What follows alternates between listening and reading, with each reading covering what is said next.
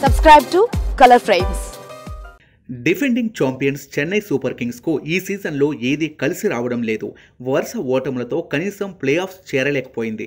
దీనికి తోడు కెప్టెన్సీలో మార్పులు మొదట రవీంద్ర జడేజా గొడవ ఇప్పుడు అంబటి రాయుడు ట్వీట్ ఆ టీంలో ఏదో జరుగుతోందన్న అనుమానాలకు తావిస్తోంది. సీజన్ మధ్యలో కెప్టెన్గా ఉన్న జడేజా తర్వాత కెప్టెన్సీ నుంచి తప్పుకోవడం తర్వాత గాయం కారణంగా టీంలోనూ చోటు కోల్పోవడం ఈ మధ్యలో చెన్నై టీం అతన్ని ఇన్స్టాగ్రామ్లో అన్ఫాలో అయ్యిందన్న వార్తలు కలకలం రేపాయి. ఇవన్నీ ఇలా ఉండగానే అంబట్ రాయుడు చేసిన ట్వీట్ మరో దుమారం రేపింది. తనకిదే చివరి ఐపీఎల్ సీజన్ అని శనివారం ఓ ట్వీట్ చేసి గంటలోపే దానిని డిలీట్ చేయడం తర్వాత అలాంటిది ఏమీ లేదని టీం సీఈఓ చెప్పడం ఫ్యాన్స్ను గందరగోళానికి గురిచేసింది తాజాగా ఈ వివాదంపై Chennai super kings coach Stephen Fleming కూడా స్పందించాడు.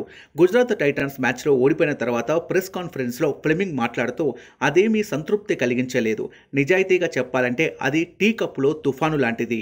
అతడు బాగానే ఉన్నాడని అనుకుంటున్నా. ఈ సంఘటన టీంలో ఎలాంటి మార్పు తీసుకురాలేదు అని ఫ్లెమింగ్ చెప్పాడు.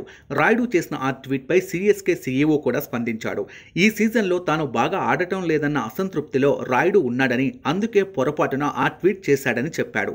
తాను మాట్లాడిన తర్వాత రాయుడు బాగానే ఉన్నాడని రిటైర్ కావడం లేదని స్పష్టం చేశాడు. వేలంలో సీఎస్కే టీం రాయుణ్ణి ఆరు పాయింట్ ఏడు ఐదు కోట్లకు కొనుగోలు చేసింది. ఈ సీజన్లో పన్నెండు మ్యాచ్లలో అతడు రెండు వందల డెబ్బై ఒక్క రన్స్ చేశాడు. Please subscribe Color Frames Color ఫ్రేమ్స్కి subscribe చేయండి. Subscribe to Color Frames please subscribe to Color Frames